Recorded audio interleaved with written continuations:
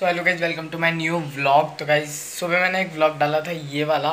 तो गाइज़ जिसमें मैंने आपको बताया था, मेरी रिंग लाइट टूट चुकी है तो उस वजह से मैं थोड़ा सा अपसेट था।